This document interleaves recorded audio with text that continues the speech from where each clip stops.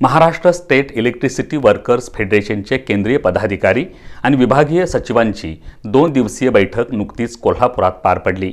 या बैठकीत राज्यातील वीज कर्मचाऱ्यांच्या प्रश्नासंदर्भात बारा ऑक्टोबरला राज्यभर वीज कंपनीच्या विभागीय कार्यालयासमोर आंदोलन करण्याचा निर्णय घेण्यात आला. फेडरेशनचे अध्यक्ष कॉम्रेड मोहन शर्मा यांनी पत्रकार परिषदेत ही माहिती दिली. महाराष्ट्र राज्य वीज वितरण कंपनीकडे सध्या बत्तीस हजार जागा रिक्त आहेत. यामुळं कामाचा अतिरिक्त ताण सेवेत असलेल्या कर्मचाऱ्यांवर येतोय.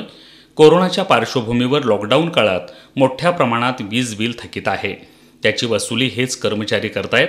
वीज बिल न भरणाऱ्यांची वीज तोडताना अनेक ठिकाणी ग्राहक आणि कर्मचारी यांच्यात वादावादीचे प्रकार होत आहेत राज्य सरकार कोणतीही सुरक्षितता न देता वीज बिल वसुलीसह इतर कामे कर्मचाऱ्यांकडून करून घेतली जात असल्याचा आरोप महाराष्ट्र स्टेट इलेक्ट्रिसिटी वर्कर्स फेडरेशननं केला आहे त्यामुळे वीज कर्मचाऱ्यांच्या विविध मागण्यांसाठी वर्कर्स फेडरेशनच्या वतीनं बारा ऑक्टोंबरला राज्यातील सर्व वीज कंपनीच्या विभागीय कार्यालयासमोर धरणे आंदोलन करणार असल्याचा इशारा फेडरेशनचे अध्यक्ष कॉम्रेड मोहन शर्मा यांनी दिला आहे बारा ऑक्टोबरला संपूर्ण महाराष्ट्राचे जे झोन्स आहेत त्या झोनच्या समोर एक विशाल धरण आंदोलन या मागण्यांच्या सं संदर्भामध्ये आम्ही हे आयोजित केलेलं आहे.